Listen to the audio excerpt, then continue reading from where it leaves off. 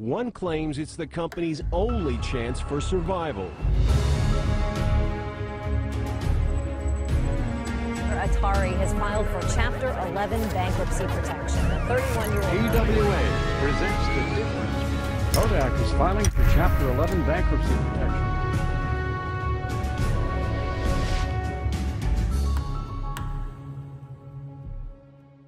What's up, guys? My name is Jake, and welcome to the 22nd episode of Bankrupt. There's a good chance that you've either been to or driven by a Six Flags amusement park. Their presence across the United States has been enormous, outpacing other theme park operators like Disney, Universal, and Cedar Fair in the number of rides and park acreage. In fact, it was the largest theme park operator in the whole world, with many of its parks beloved by fans. But unlike all of those other companies, Six Flags has been dealing with financial difficulties for decades and has seemingly always been through a revolving door of corporate owners making terrible decisions. There was even a time where that financial pressure became too severe and they declared bankruptcy altogether, leaving behind full theme parks abandoned or demolishing them in their wake. So let's take a look at the history behind this colossal amusement park company, figure out why they've been struggling for so long, and find out where they're going, especially given the headline grabbing merger with their once fierce competitor. This is Six Flags. This episode of Bankrupt is sponsored by Incogni. Use code BRIGHTSUN at the link below to get an exclusive 60% off an annual plan. In 1955, Walt Disney and his company opened Disneyland in Anaheim, California, arguably one of the world's first theme parks. It was obviously a massive success, and it showed how popular and profitable an amusement park enterprise like this can be. So, its success inspired developers to replicate this type of development project in other places. One of those would-be developers was a man named Angus Wynn, a 47-year-old Texas-based businessman who mainly developed large-scale residential properties.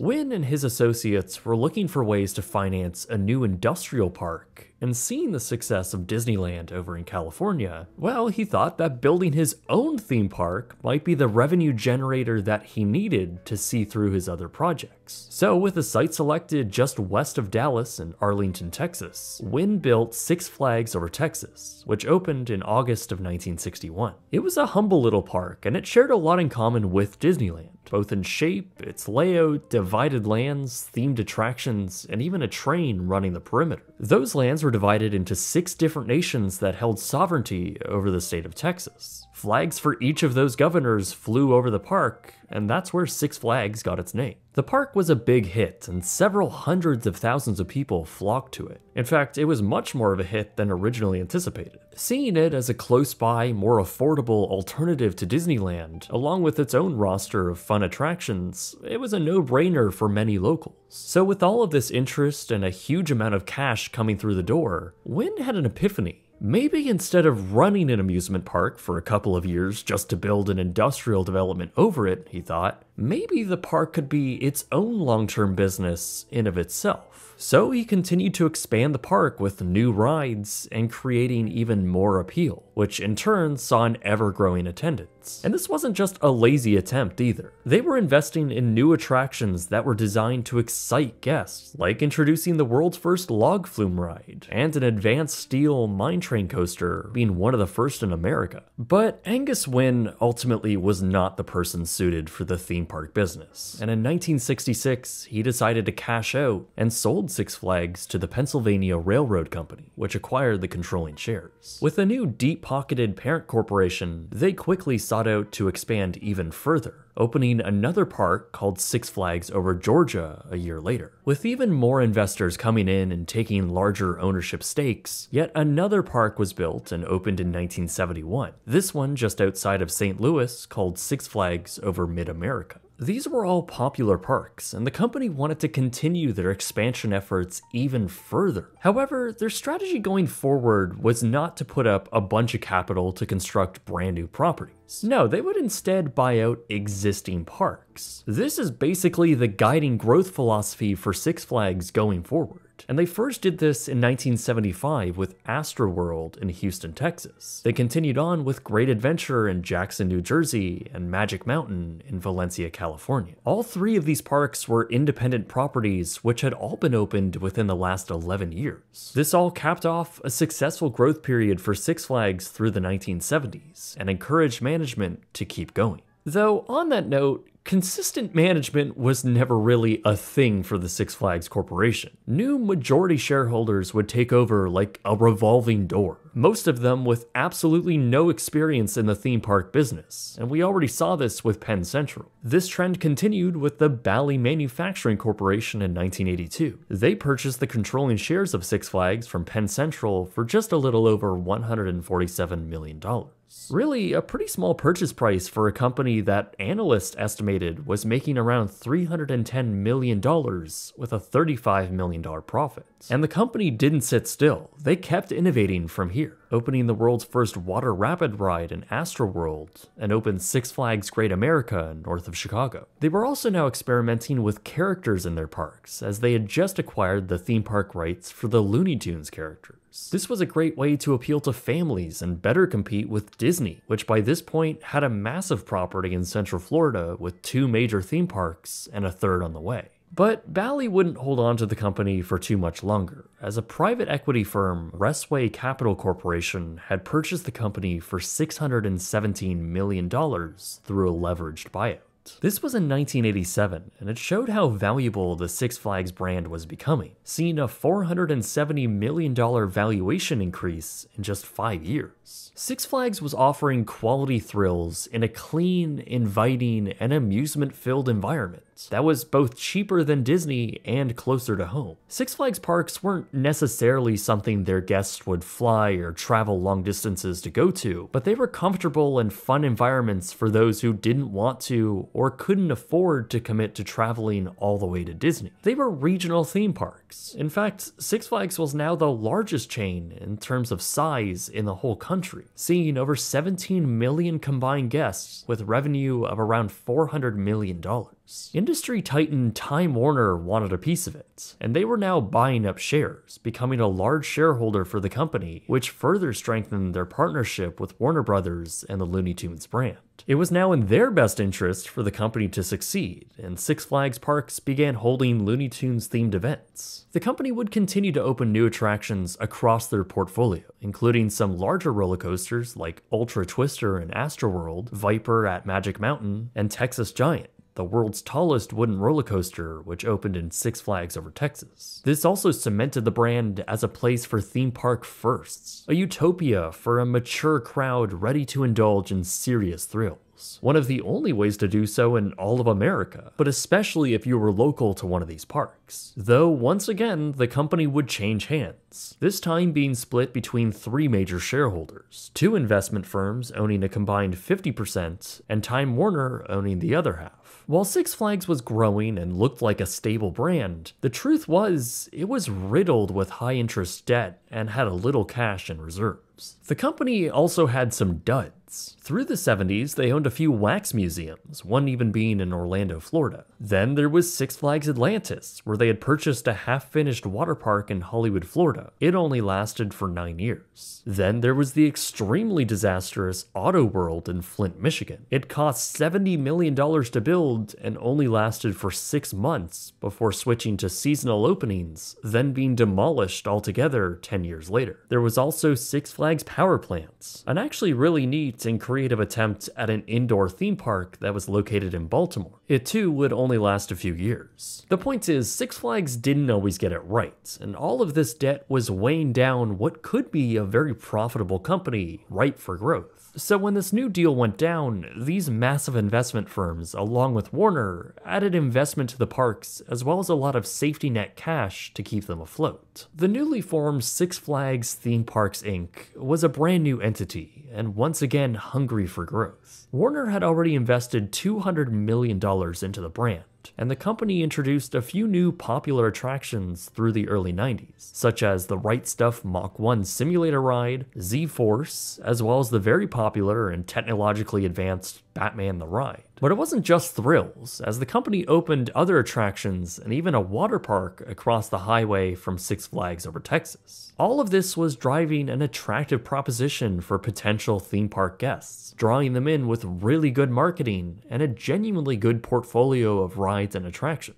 This was also a time where Six Flags had now become a culturally significant brand, with their parks very popular with young adults and even celebrities, hosting star studded events or even birthday parties, many of which at Magic Mountain. In 1993, Time Warner would ultimately opt to buy out the other investors and take 100% control over the company, bringing it under their own corporate umbrella. Across all of their parks, combined annual attendance was now an impressive 22 million people. Two years later, though, in 1995, Time Warner apparently decided to give up full control and sell 51% of their shares to an investment company and spin it off as its own corporation. By doing this, Time Warner would leave a lot of their own corporate debt with the departing company. This change in leadership would only last a few years and see some minor changes. By now, it was 1998, and Six Flags was in the crosshairs of yet another potential corporate takeover. This time, it was Premier Parks. Premier, formerly known as the Tierco Group, was a large real estate development company which, like Six Flags, pivoted into an amusement park company after it had great success in acquiring other small theme parks. By the 1990s, they were hungry buying up other entertainment companies and acquiring large theme park assets like Darien Lake, Riverside Park, and Geauga Lake. They were looking to grow and loved the brands Six Flags had built. So, very much not an April Fool's joke, Premier Parks had acquired Six Flags on April 1st, 1998 for $1.8 billion. But this deal had a lot of risk to it. It was the largest acquisition deal in theme park history, and Premier would put up over $700 million in cash, though they would also take out over $800 million in debt. They were gambling it all on the prospect that Six Flags would generate enough cash to pay it off in the future. And this was already on top of the decades of existing debt the company was saddled with. But this deal also meant that Six Flags would be taking on a sizable portfolio of amusement parks that Premier already owned. And over the next couple of years, many of those parks would be slowly rebranded into Six Flags. Geauga Lake would become Six Flags Ohio, New Marine World would become Six Flags Marine World, and Kentucky Kingdom would become Six Flags Kentucky Kingdom. This is just to name a few. The company had more than doubled in size, and Premier had gone all in on the Six Flags brand, dissolving their own name, operating it all under Six Flags Theme Parks Inc though executives from Premier believed that the company needed some fixing, as they thought past owners had not provided enough capital for new attractions and didn't market enough to families. They were also making efforts outside of America, now expanding with Six Flags Mexico, a park in Montreal, Canada, and even overseas with Six Flags Holland. By 2001, they also grew their Six Flags Ohio park after acquiring the SeaWorld across the lake, turning it into one massive property. In fact, it became the largest theme park in the world, though a costly one to operate. New rides were opening across the chain, as well as some notable coasters like Goliath at Magic Mountain, the longest and fastest closed circuit coaster in the world, the unique Superman Krypton Coaster, a floorless coaster at Fiesta, Texas, Superman Ride of Steel at Six Flags America, Nitro at Great America, being regarded as one of the best roller coasters in the whole world, and Superman El Ultimo Escape, the tallest and fastest coaster in Latin America. These were all innovative and record breaking attractions, and there were many more that opened during this time. Six Flags was also now doing Fright Fest as well as Winter Lights, all seasonal events that were very popular. Six Flags New Orleans was brought on during this time, and really the whole company seemed to have injected a lot of excitement into the brand.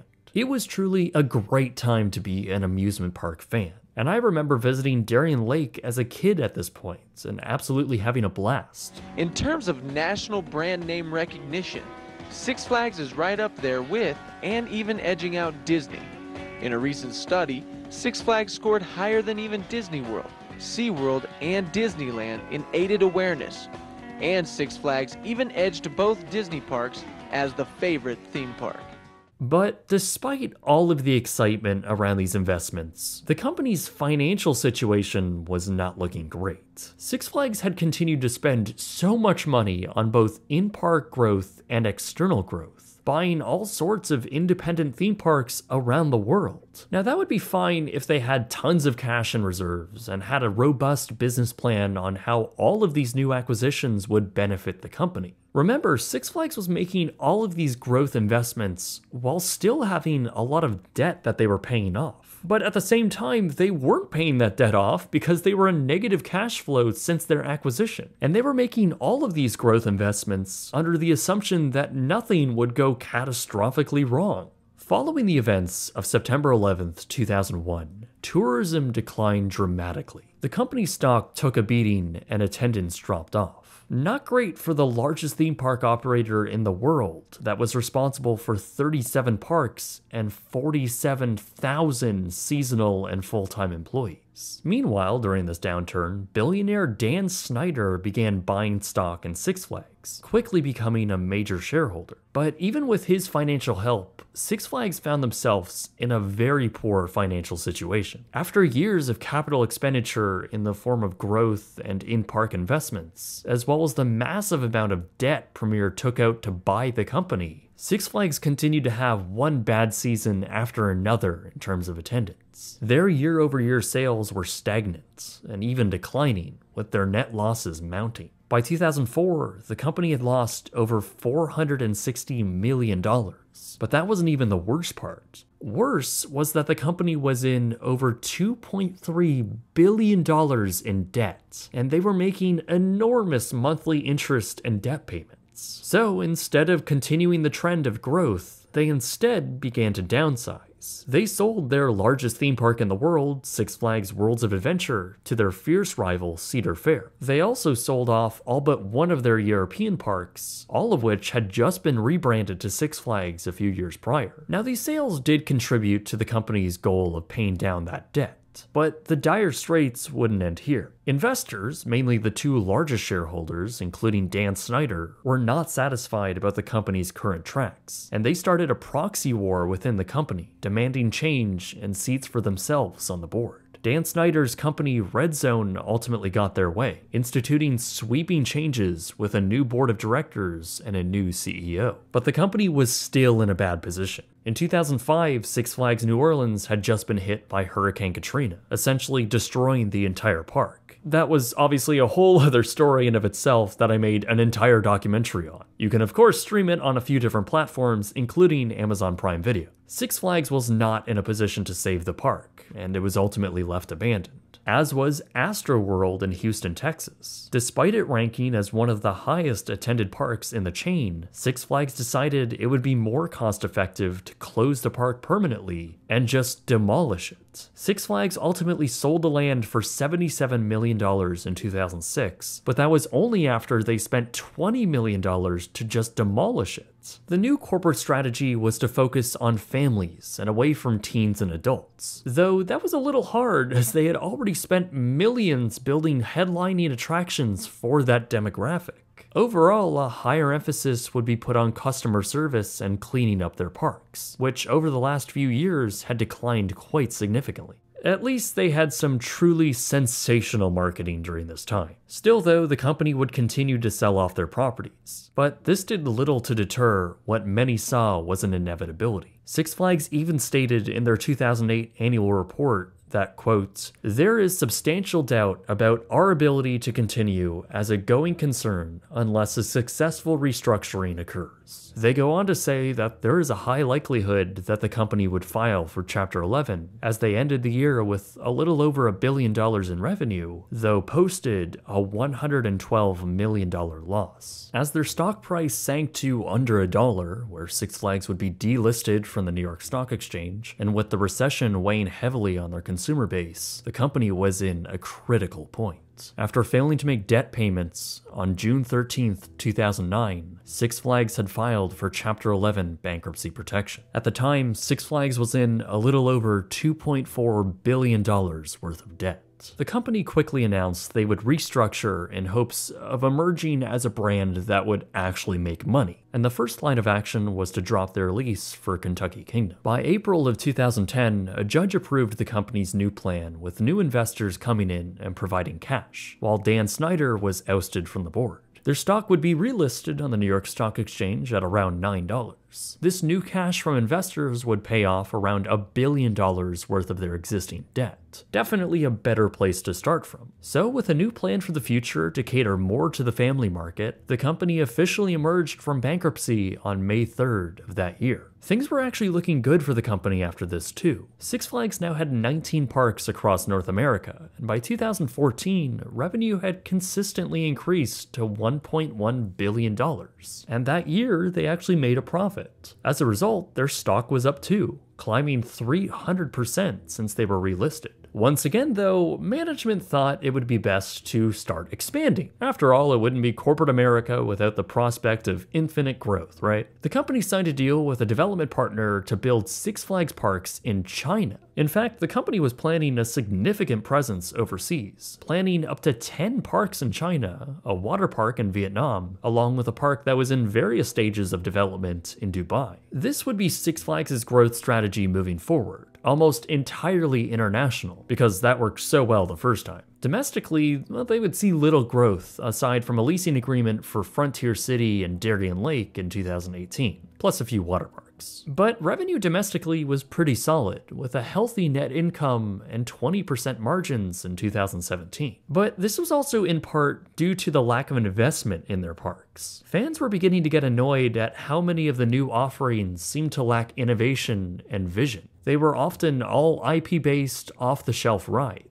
In fairness, though, they did clean up some of their parks and invest in some new and well received attractions like Twisted Colossus, Maxx Force, and the Joker. While their stock price rose, the company then decided it would be a good idea to try and buy their competitor, Cedar Fair. Yeah, except they didn't have nearly enough money to commit to their $4 billion bid, instead, offering the majority of it in the form of Six Flags stock. Cedar Fair, of course, turned this offer down. It was a very strange move, and this corporate mentality seemed to favor shareholders and stock value above everything else. By 2019, attendance and revenue only climbed 2%, while in park spending, sponsorships, and net income all had fallen. As a result, their stock took a massive hit, the largest single drop in recent Six Flags history. The new parks that were recently brought on ultimately did little to bolster their revenue, and by early 2020, it was announced that not only was the Dubai park now cancelled, but so was their entire future plans for a China expansion. 10 parks being planned, all with a strategic partner, all dead, and the company would just eat those losses. Though that was probably the smart move, as 2020 would prove to be a perilous year for the company. Like all physical entertainment around the world, Six Flags was forced to shut their parks temporarily, and as a result, saw a massive decline in park attendance. By the end of the year, they had posted a net loss of over $423 million. Though attendance and revenue did rebound by 2021. The same year, the board elected a new CEO, Selim Bassoul. He began instituting new cost cutting measures company wide and the lack of new attractions would only get worse, all while they raised prices and cut jobs. What really infuriated fans during this time, aside from $45 regular parking, was the future outlook by their CEO on what Six Flags could become. See, they wanted Six Flags to be a premium, family friendly focused experience. Executives believed that Six Flags was remarkably undervaluing itself in terms of tickets and season pass prices, and to be fair, there is some truth to that. So those prices went up, but they did so without adding anything of substantial value. Focus was put on seasonal events, something corporate could easily throw together instead of actual rides, which is what most critics claimed would be the actual way to bring back their fans. And I mean, it makes sense. It's pretty risky to raise the price for a product significantly while giving the same experience. Six Flags was not anywhere near a premium Disney or Universal like product, and the result of this was pretty devastating. Between 2021 and 2022, attendance across all of their parks fell 26% from 27 million in 2021 to just 20 million in 2022. As a result, revenue and net income fell too, 9% and 16% respectively. And once again, Six Flags' debt creeped back up to $2.3 billion. This was a brutal decline, as it showed fans were not returning like executives had hoped, and Six Flags would continue their streak of entertainment and financial underperformance. Remember, this was a time where most people should have been going out to theme parks. It's after the pandemic, and people were eager to get out. For comparison, Cedar Fair had an overall attendance of 19.4 million people in 2021, but they saw a massive increase to nearly 27 million guests in 2022. And this was all while Cedar Fair has four less parks. So Six Flags' numbers were just completely backwards. Clearly, turning Six Flags into a premium destination without giving the parks anything tangibly premium was a complete miss, and once again, the company was struggling to figure out what the path forward would look like. 2023 was shaping out to be another rough year for the company, with attendance and in park spending down across the board. With little new attractions to show for, many didn't see any reason to return to a Six Flags park, especially since it was so much more expensive. The company was in a declining situation, one which had brought its overall market valuation down. Down to a point, in fact, where a merger was possible. In a move almost nobody saw coming, on November 2nd, 2023, it was announced that Cedar Fair, Six Flags' longtime competitor, were going to join forces and merge the two companies. It was marketed as a merger of equals, bringing the two regional theme park giants together as one $8 billion company. Cedar Fair and its investors were going to have controlling shares over the company, owning 51% with their CEO staying on in the role. Six Flags would retain 49%, and their CEO would be elected to chairman of the board. This merger would retain the Six Flags name, and while it did seem to come out of nowhere, it's clear Cedar Fair saw that Six Flags was struggling. By combining forces, they would now have a good grasp on most markets across North America, bringing their total number of parks to 27 with an additional 15 water parks. By combining corporate oversight too, they claim that they could save around $120 million in two years. It'll also free up over $800 million in cash flow, which they could then presumably reinvest into Six Flags parks and bring them up to a higher standard that Cedar Fair parks had been enjoying for years. Perhaps then they can make the existing Six Flags parks both profit centers for the company and parks that are once again attractive to fans. This is not important, but why did they have to use AI for the photos on the covers for their merger investor booklet? Were they seriously short of amusement park file photos? This looks terrible. Obviously, the road to get to this point for Six Flags has been, I want to say a disaster, but that sounds a bit harsh. Let's call it an unmitigated mess filled with terrible decisions that ultimately led to a maybe positive ending. But it's been a long and tumultuous road to get here, with billions of dollars lost, bridges with their customers being burned, and several parks being lost, either on the drawing board or just lost to time. Even from the very start, Six Flags was never meant to be a long term company. It was created as a profit center so a businessman could just replace it with an industrial park. But even when it proved to be more than just a fad, the company would never stay with one owner for long. Executives and major shareholders would continuously swap in and out, a never ending series of buyouts and new management. While Six Flags did do a lot right and did innovate and build genuinely great regional parks, they also made a ton of terrible decisions that always seemed to lose more and more money. From the excessive and costly expansion plans, to the loans taken out to acquire the company, to the lack of investment later, Six Flags has just been an exhausting company to keep up with. And I'm sure there's so much more that I'm missing here. But all of this led to the largest theme park operator in the world, and one of the most recognizable names in entertainment to ultimately declare bankruptcy. But now there is hope for the future, as capable executives are now at the helm, and maybe that chapter of the tumultuous days for the company are now over. And maybe the future of Six Flags might actually have a happy ending.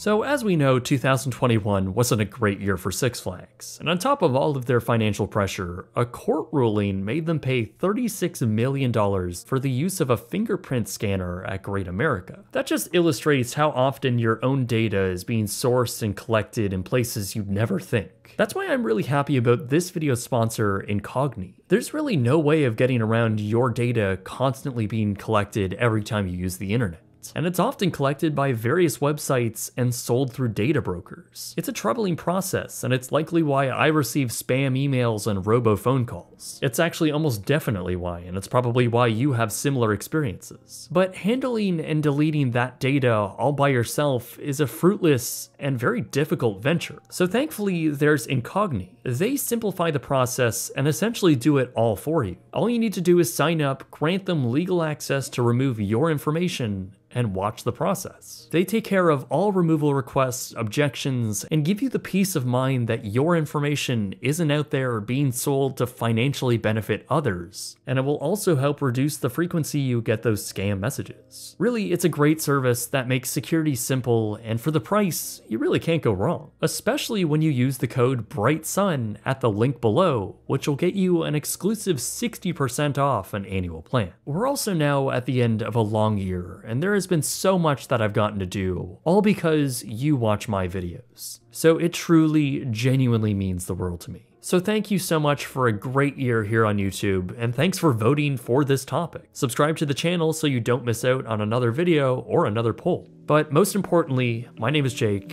and thank you very much for watching.